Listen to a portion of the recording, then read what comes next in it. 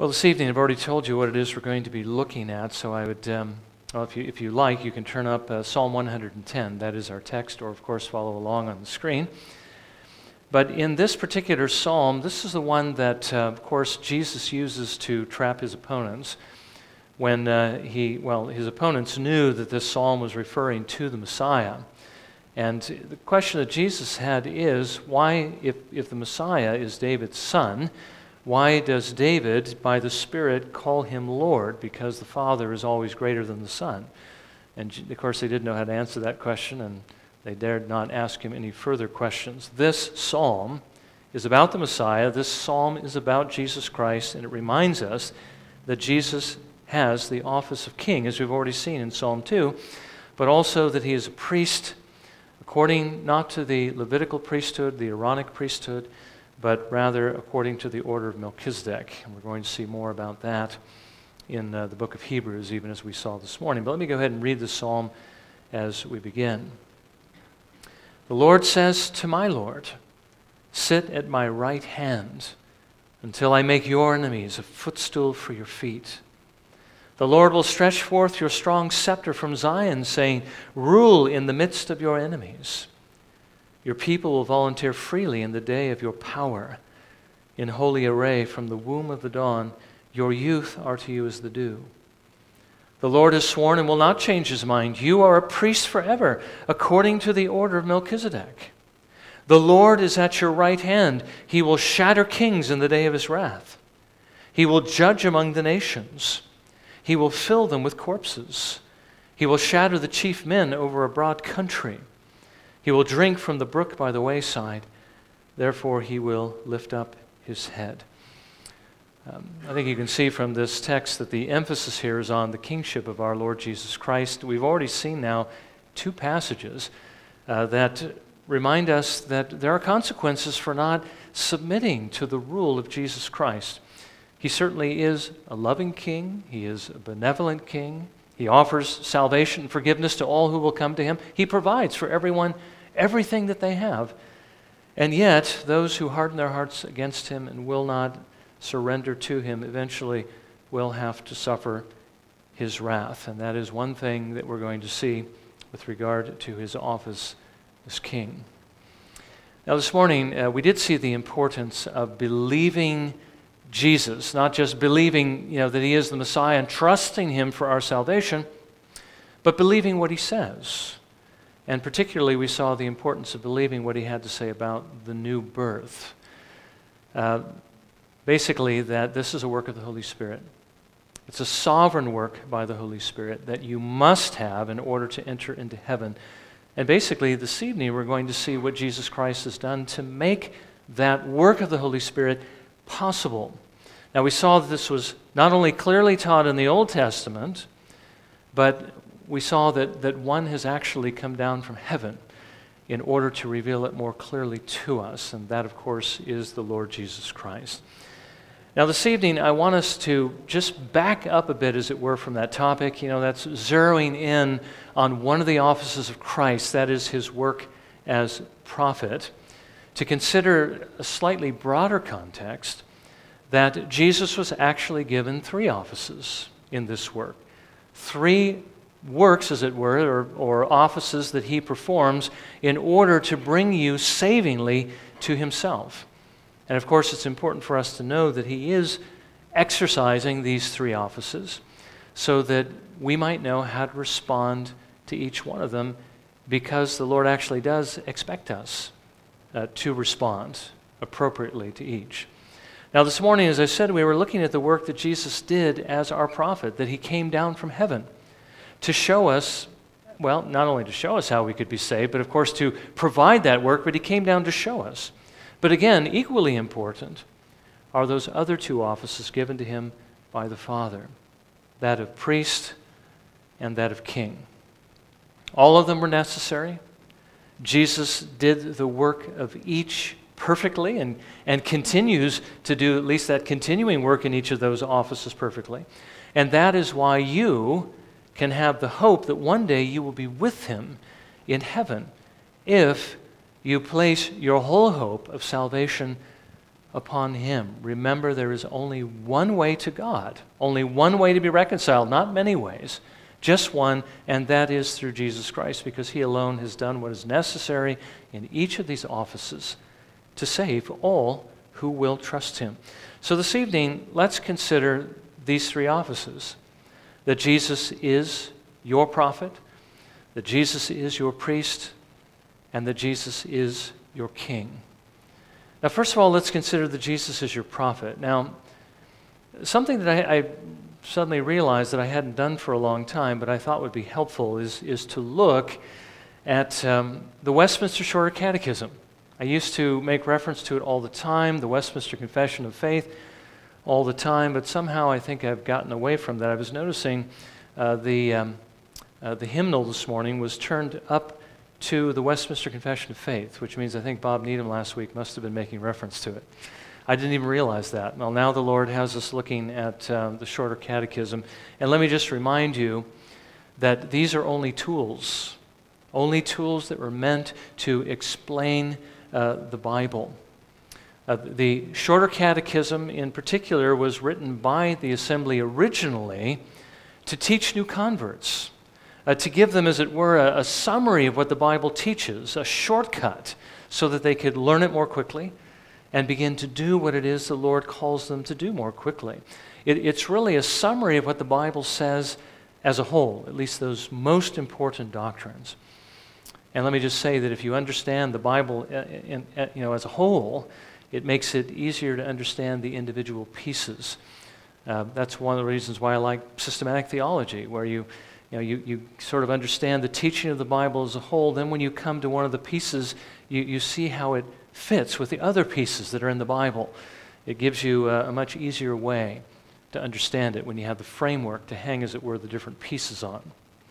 So let's begin this evening with question 23 of the Shorter Catechism that summarizes uh, the work of Jesus Christ as, as our Savior um, in, in these particular offices. So First of all, it asks this question What offices does Jesus execute as our Redeemer? And again, execute is a word that we don't often use. It sounds kind of like you know, putting something to death, but we know it can also be used to refer to the accomplishment of something, uh, to carry something out, to perform something. So, what offices does Christ perform as our Redeemer or carry out? Well, the answer is Christ is our Redeemer executes or performs the offices of a prophet, of a priest, and of a king, both in his state of humiliation and exaltation. Now, again, this catechism was written a long time ago. Some of these words perhaps we're not familiar with or are not words we commonly use. But I do want you to see what he's saying, or at least what the assembly was saying here. This is a summary of everything Jesus does in the work of saving you and me. And everything that he does is connected to one of these three offices. Now, what this draws our attention to, of course, are those three offices, but also to the fact that part of that work was done while he was on earth in what's called his state or his condition of humiliation.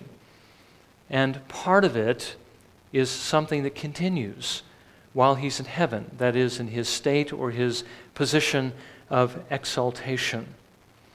Now, the first work mentioned is that of being a prophet.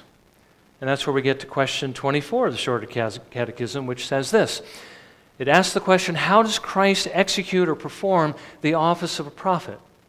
Well, the answer is that Christ performs the office of a prophet in revealing to us by his word and spirit the will of God for our salvation. Now, you need to realize that if Jesus had not done this, there's no way that we could possibly know how to be saved.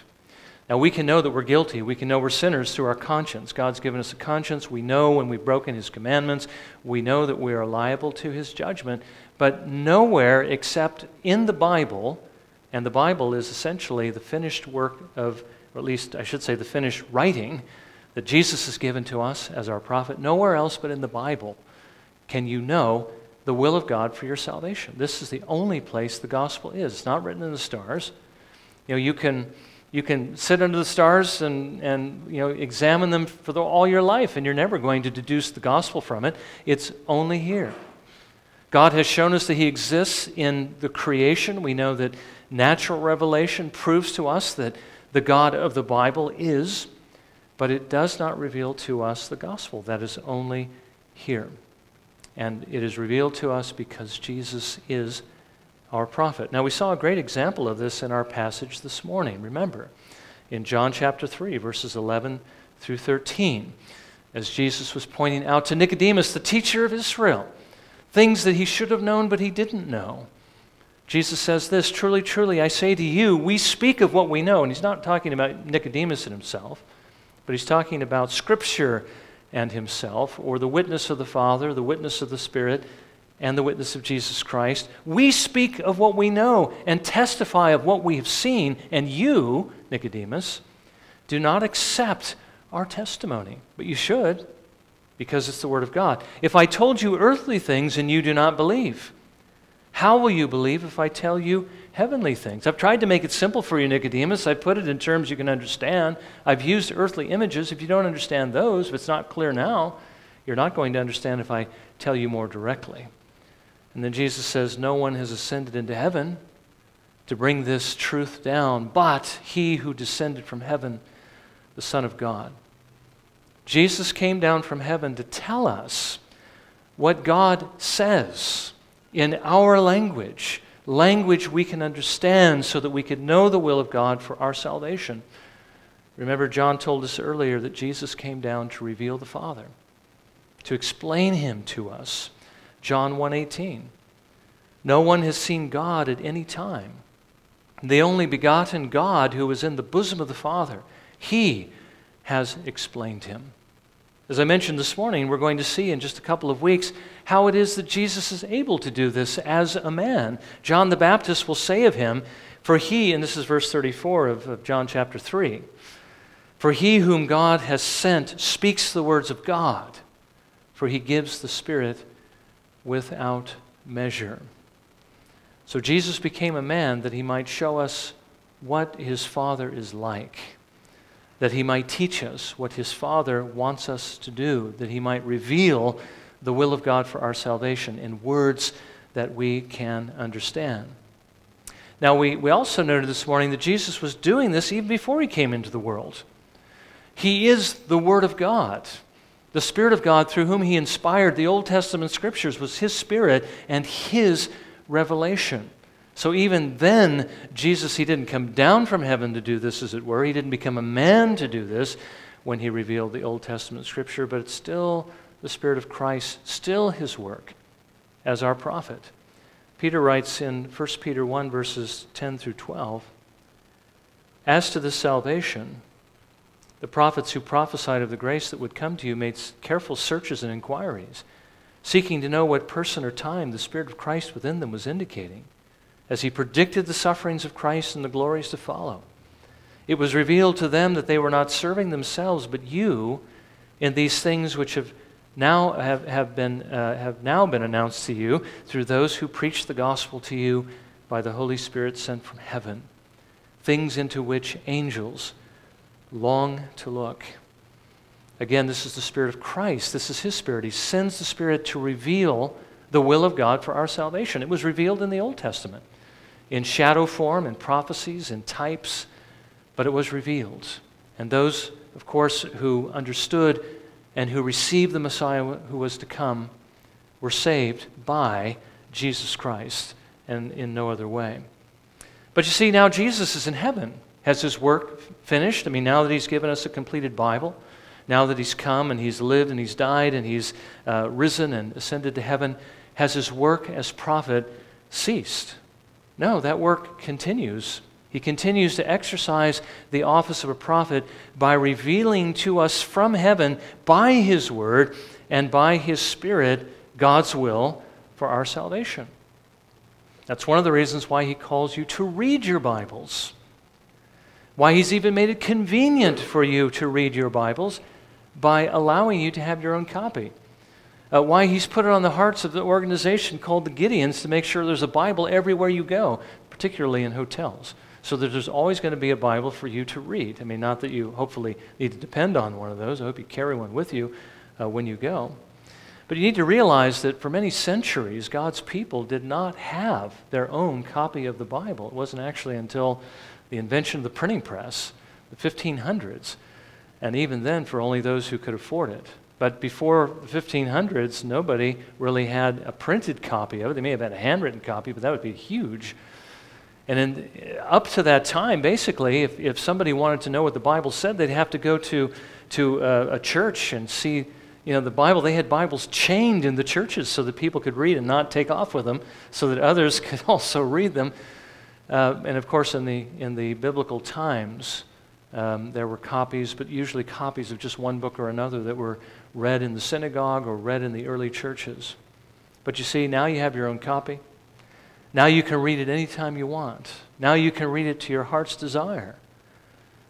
You know, Jesus wants to speak to you, and he wants you to hear him. And that's why he has given you his word, and why he commands you to read his word and also why he commands it to be read in the worship service, why he commands it to be explained in the worship service and applied. This is how he speaks to us today, how he exercises his office, office as a prophet. He speaks to us through his word, he speaks to us through uh, the word preached, he speaks by his word and by his spirit. Everything that is said that agrees with his word is Jesus' word. Now, we do understand that Jesus also talks to us in, in some respects by opening and closing doors for us providentially. But that can be a little bit subjective. We don't want to always trust that, but we do understand He does guide us in that way as well. So let me ask you first, with regard to this, how are we to respond to what Jesus says? If Jesus is speaking to us and He wants to be heard, are you listening to Jesus? Are you reading his, his, his, his word? Are you reading your Bibles? Now, I've already mentioned to you that we're, well, you you all pretty much know that we're doing the reading the Bible together, which is where we, we read the same books at the same time and we try to cull ideas and then we get together and we share those ideas with one another. That's one great way that the Lord has given to us to hear what He has to say. Are, are you reading the, the Bible? Are you reading together with, with your brothers and sisters uh, in this program? Uh, if you haven't been in the discussions, maybe you should consider uh, reading and getting together and in joining in those, those times because they're really quite a blessing. And when you read your Bibles, are you reading them uh, in the way you should and trying to get out of them what you should? I mean, we can just pick up the Bible in our Bible reading program and we can knock out three chapters and we can say, I've, I've done it and I've read my Bible for today, therefore I'm going to be blessed. But if you haven't read the Bible to get to know the Father, to get to know the Son, to understand the Spirit and His will for you, if you haven't read with a, with a believing heart and a submissive heart, if you haven't listened in the, in the Hebrew sense, which is not just to hear the words themselves or even just to understand what they mean, but to listen that you might submit to them, then you haven't really read it in the way the Lord would have you to read it. Jesus is speaking, and he wants you to listen to him. And Jesus reminds us that if we love him, that's what we're going to do by nature because that's what we will want to do. Jesus says in John 14, verse 15, If you love me, you will keep my commandments. Which means that if you love Jesus, you'll read the Word of God that you might know what His commandments are in order that you might obey Him. And remember, the Ten Commandments are a summary of everything the Lord would have us to do, but the application of those Ten Commandments is very broad and you really need to read the whole Bible to understand it. Are you paying attention to what's read in the worship service and, and what's expounded in the sermons as we meet together for worship? Are you growing in your understanding of the Lord and of His will for your life? Uh, we do need to remember that God has given to us the best possible teacher, and that is God in human flesh, the Lord Jesus Christ that He has given to you everything that you need to know in His Word to believe and everything you need to know to live the kind of life that is honoring to Him.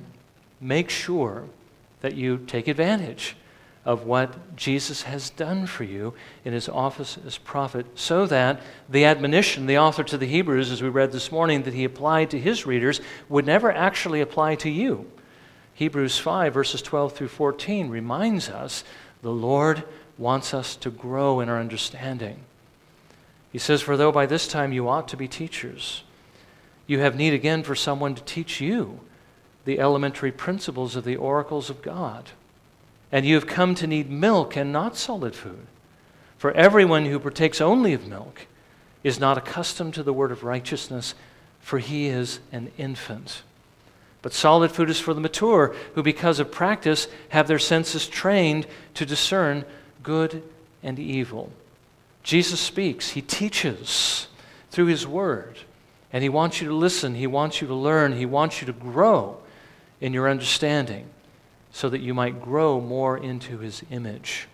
Peter writes in 2 Peter 3, verses 17 through 18 You, therefore, beloved, knowing this beforehand, be on your guard so that you are not carried away by the error of unprincipled men and fall from your own steadfastness, but grow in the grace and knowledge of our Lord and Savior Jesus Christ. To him be the glory both now and to the day of eternity. Amen. And Peter there was addressing those who were saying that, you know, the Lord's coming. Well, actually, the Lord wasn't going to come. Everything just continues the way it was from the beginning. He says, don't listen to them. there's a lot of people teaching a lot of things today that aren't true either. Don't listen to them.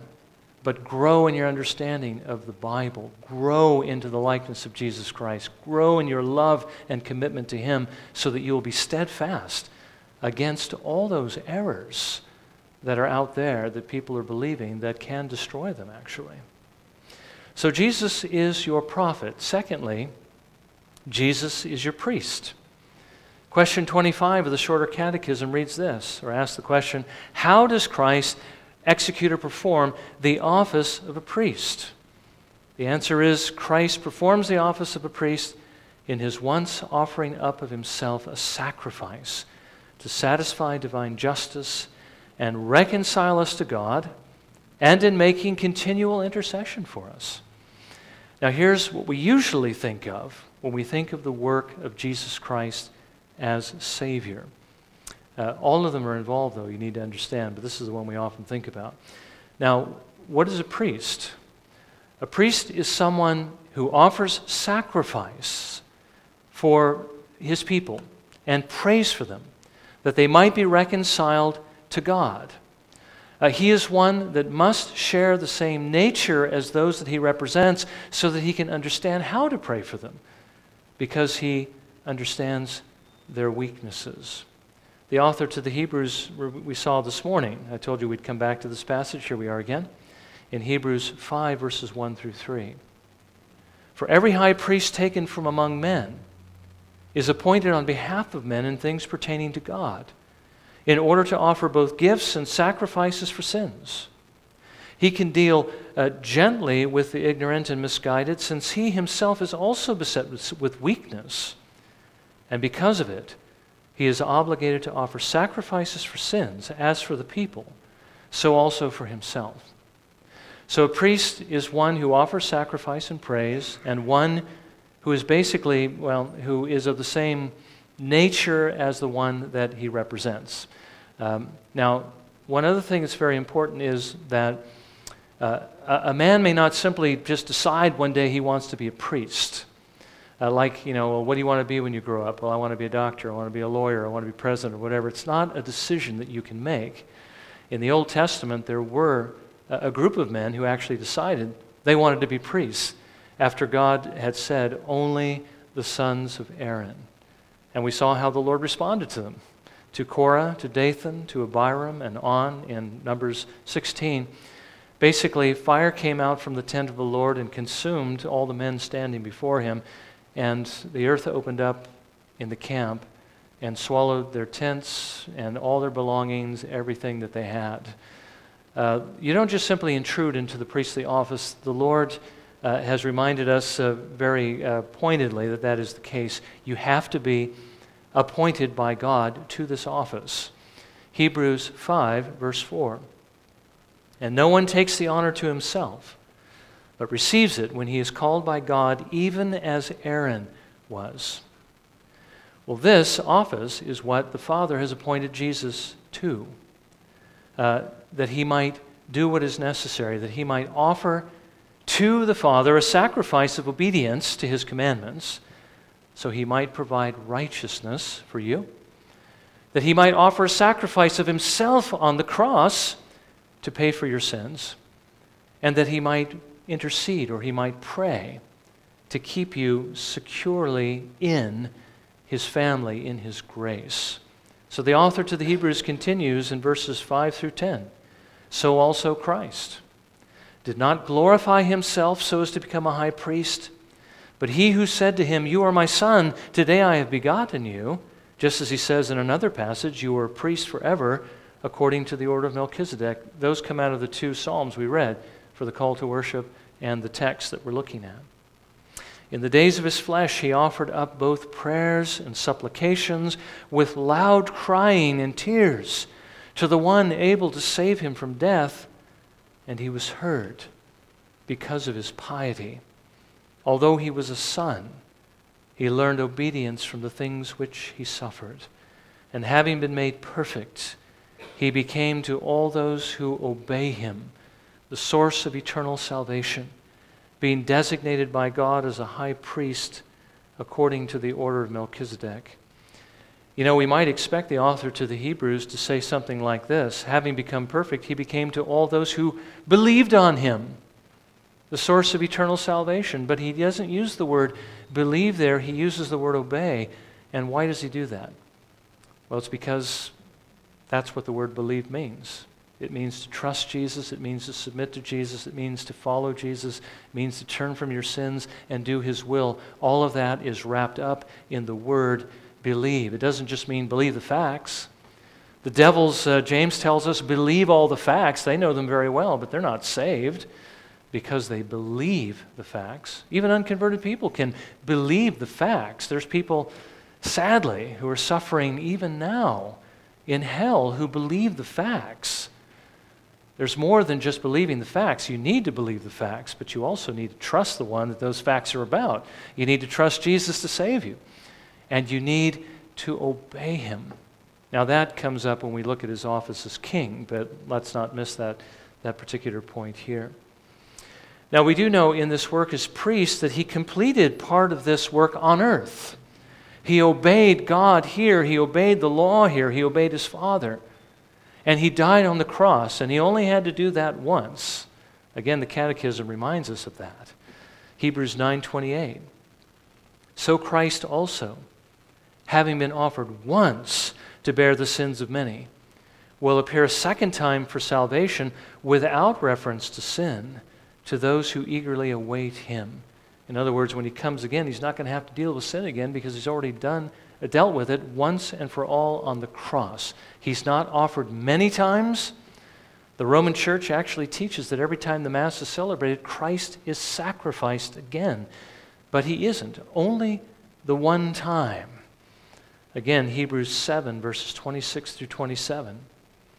For it was fitting for us to have such a high priest, holy, innocent, undefiled, separated from sinners, and exalted above the heavens, who does not need daily, like those high priests, to offer up sacrifices, first for his own sins, and then for the sins of, his, of the people, because this he did once for all when he offered up himself. It was only one time it was needed because that was a sacrifice of infinite worth, because the one who offered himself up was God in human flesh. So that part of his work is done on earth, but there's still a part of it that he continues to do in heaven, and that is intercede. Now, he prayed on earth as we've seen, but he continues to pray in heaven. He continues to intercede for us, pleading the merits of his work on our behalf. Jesus prays. Hebrews 7, verses 24 through 25. But Jesus, on the other hand, because he continues forever, not like the Aaronic priests who died off, because he has the power of an indestructible life, because he continues forever, holds his priesthood permanently. Therefore, he is able also to save forever those who draw near to God through him, since he always lives to make intercession for them. Jesus is continuing his work as priest in heaven by praying for you if you are trusting in him. So, how do we respond to this? Well, the question is Are you trusting Jesus Christ? Because He's done this work for those who will trust Him. Are you trusting the work that He has done for you as, his, as your priest? Now, how often do we find ourselves struggling with whether or not we're going to actually make it to heaven? You know, that's always, I think, the big question. Even in the church, even in those who trust in Jesus. Now, you understand if, if entering into heaven depended on you, if it depended on your works, if it depended on your righteousness, then you could know one thing with certainty. You would never actually get there because you're never going to be good enough.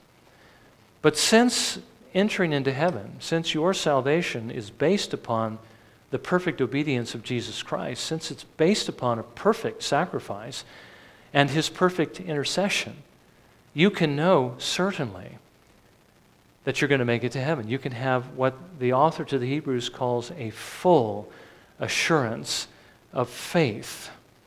Now, you do know that there's a bit of, um, uh, of a, well, not a wrinkle, but there's, there is the issue okay, yes, if I'm trusting Jesus Christ, I can know that I'm going to make it to heaven. But in order to have that assurance, you have to know that you're trusting in Jesus Christ. You have to have the evidence that you really do belong to Him. That when you say, I believe in the Lord Jesus Christ and I've turned from my sins, that I really am believing in Him. I really am turning from my sins. And you should know by now what that evidence is that you should be looking for. And it's the evidence of a godly life. It's a life of trusting Jesus in the way that we saw the author to the Hebrews said that we must trust him.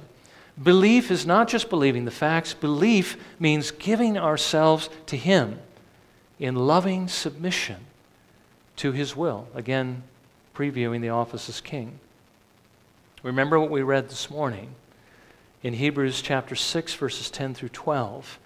The author to the Hebrews says this For God is not unjust so as to forget your work and the love which you have shown toward His name and having ministered and in still ministering to the saints. And we desire that each one of you show the same diligence so as to realize the full assurance of hope until the end, so that you will not be sluggish, but imitators of those who through faith and patience inherit the promises. Remember, this comes at the end of that really, um, well, difficult passage in Hebrews chapter 6 that talks about those who fall away and can't be renewed to repentance. And he talked about what they were like, and I won't get into that again right now, but I will say this. The author to the Hebrews, after he talks about those who have fallen away, he turns to them and he says, But beloved, we're convinced of better things concerning you and things that accompany salvation, even though we're speaking in this way. And then he, he tells them this this is the evidence that you belong to the Lord, the love which you have shown toward his name in ministering and still ministering to the saints, showing diligence in what the Lord has given you to do, not being sluggish, but imitators of those who through faith and patience inherit the promises. The way you can know that you're really trusting in Jesus Christ is the evidence of a changed life. A life that shows that you really do love the Lord. Now, that's kind of a no brainer, but there's so many people today, so many churches that are teaching there's no difference between a Christian and a non Christian. None. Except one of them has prayed the sinner's prayer and the other one hasn't. One of them believes the facts and the other doesn't. Are there people who believe that? There certainly are. As a matter of fact, it wasn't that long ago they were the majority. But no, the Lord says if He saved you, He, he transforms you into His image by His Holy Spirit through the new birth that we were looking at this morning. Well, this brings us to the last point. Finally, Jesus is your King. Question 26 of the Shorter Catechism reads this How does Christ, I'm going to again substitute the word, how does Christ perform the office of a king? Christ performs the office of a king in subduing us to himself, in ruling and defending us, and in restraining and conquering all his and our enemies. Now, then, I've, I've said, okay, this is where obedience comes in. And we talk about Jesus as Savior. He's the prophet who reveals to us the will of God for our salvation so we can know what we need to do. We need to trust in Him. We need to obey Him and so forth. As a priest, he makes the sacrifice and he prays for us. But as king, he rules over us and we need to obey him. Now, one thing that may not be immediately clear about uh, the answer to this question is that first part where it says, Christ performs the office of a king in subduing us to himself. Jesus had to subdue us to himself. I mean, why? Well, because we were his enemies. And the first thing that he did in applying salvation to us was he subdued our rebellious hearts. Now, we saw how he did that this morning. It's the new birth that he gives through the Spirit of God. The Spirit of God changes your heart, he makes you willing to obey. This is taught throughout Scripture in many places, but let me just give you one other one Ephesians 2, verses 4 and 5. After Paul describes our condition coming into the world, that we're walking according to the prince of the power of the air. We're going the same direction the rest of the world is going, and we would have gone, we were children of wrath and would have gone to hell with the rest of them. But, he says, but God, being rich in mercy, because of his great love with which he loved us, even when we were dead in our transgressions, made us alive together with Christ. By grace you have been saved. Jesus said to Nicodemus, The Spirit or the wind blows where it wills. You hear the sound of it, but don't know where it comes from or where it's going. So it is with everyone who is born of the Spirit. The new birth, you have to be born of the water and of the Spirit if you are to see and enter into the kingdom. It is a sovereign act of the Spirit of God, and that is the act that subdues our rebellious heart so that we will then bow the knee to Jesus Christ because we're like nobody we're like everybody else when we come into the world. You know, we, we are stiff-necked and uncircumcised of heart. And God, as we saw this morning, has to be the one who circumcises our hearts. We're like, we're like those bones laid out in the, in the valley of dry bones of Ezekiel's vision. We have no more power to serve God than those bones have to, get, to come together and stand upright and serve God. We're dead. We're in the grave. We were dead in trespass and sin. But God is the one who breathed life into our souls by his Holy Spirit and caused us to live. So that is the work of Jesus Christ as our King, subduing us to himself. He does it by changing our hearts and making us willing to submit to him. And again, we understand that not everybody understands that when they trust in the Lord Jesus Christ because it appears as though we're the ones who, who are just doing it on our own strength. But we do need to recognize we didn't always trust Jesus. We didn't always want to trust Jesus. There was a time when we wanted to do our own thing, but then there comes a time when we do want to submit, we do want to trust. Was that just a change that took place in my own mind and my own heart? Something that, that just sort of happened biologically? Or is it something that happened spiritually? The Bible says the Spirit of God made that change. He's the one who made that difference. And that is the work of Christ as your king, subduing you to himself. Secondly, as our king, not surprisingly, he rules over us. That's what kings do, right? They issue commandments, and subjects obey. Now, the reason why the Lord subdued you by his Holy Spirit was so that you might obey him. Again, that's the whole purpose behind redemption is well, it is to give God glory for his grace, but it's also so that you and I would stop being rebels and begin being submissive servants. We would begin doing what it is we should be doing, and what it is the Lord would have us to do, which is loving Him and loving our neighbor as ourselves. That, that is the only crime that, that any, you know, any critic of Christianity should ever be able to level at a Christian is you love God and you love your neighbor as yourself. If you're doing anything other than that in the way the Lord calls you to do, you're not doing what God calls you to do because that is His will. That's what He commands you to do. And that's why He saved you, was so that you might do it just like Jesus did.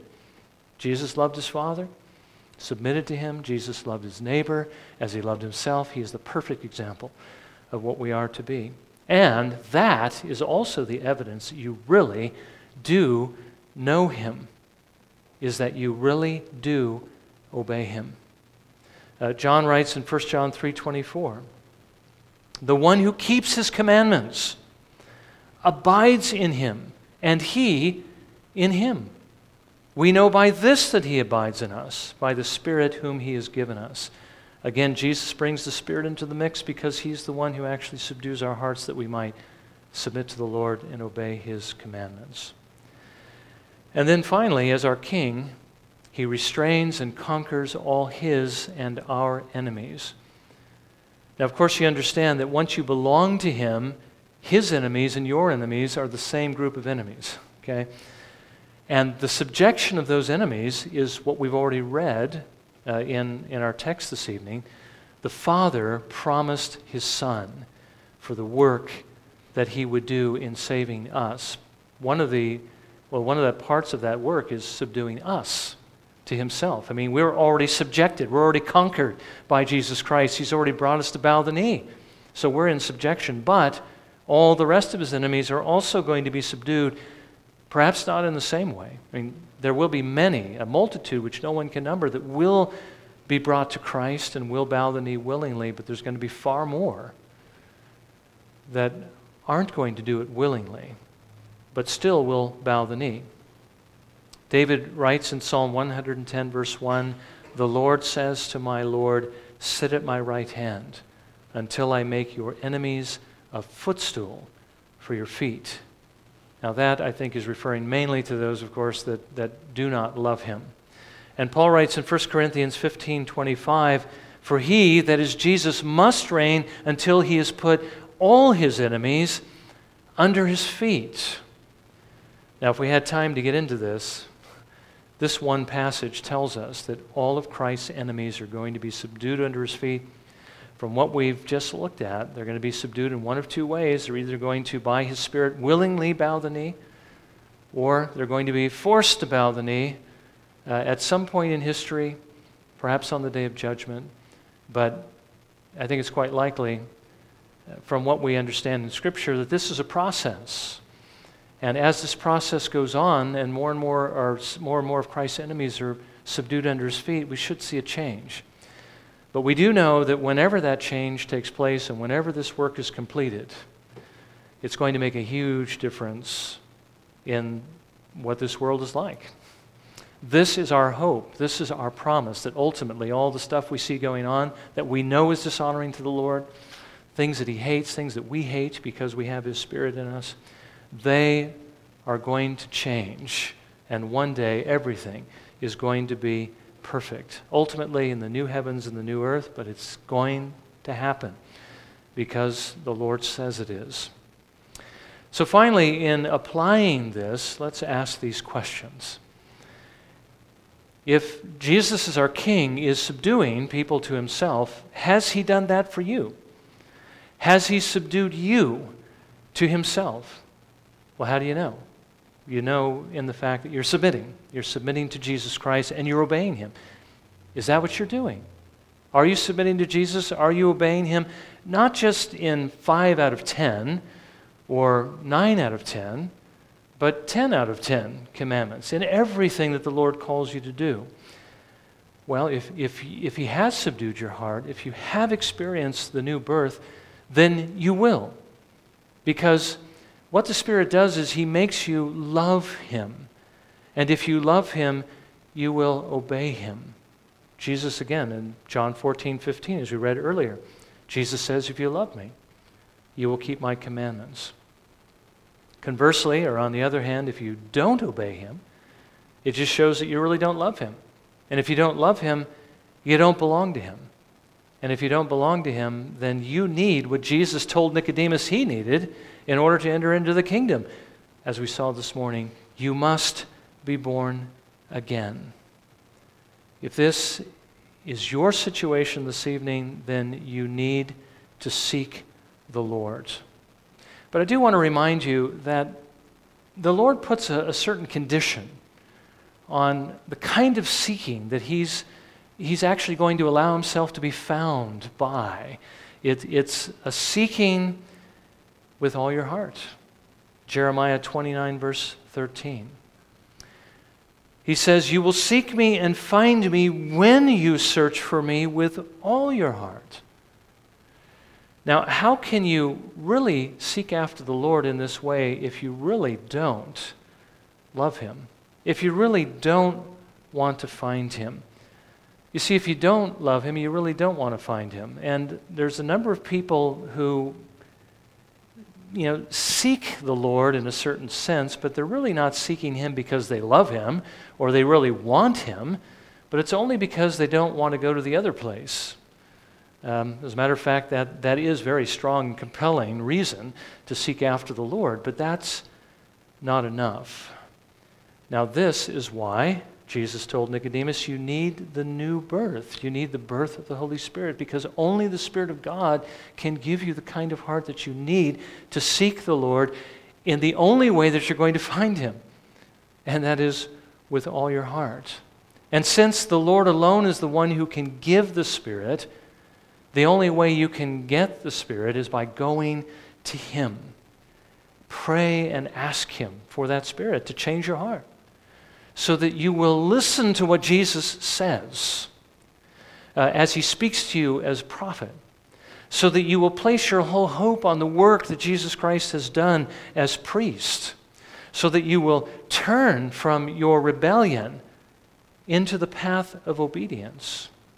That's the only way that you can seek the Lord and find him. And let me just remind you that if you don't find him, then you will certainly face judgment. So here is motivation to seek after the Lord if you do not love him in this way. In closing, let me just read this one passage from Isaiah 55, verses 6 and 7, as an encouragement to do this. The prophet writes Seek the Lord while he may be found, call upon him while he is near. Let the wicked forsake his way and the unrighteous man his thoughts, and let him return to the Lord. And he will have compassion on him and to our God, for he will abundantly pardon. Seek the Lord while he may be found. Seek him with all your heart, and God will reveal himself to you in a gracious way. Let's bow for a word of prayer and let's ask the Lord to apply what we've heard and again, as, we need to hear it as individuals.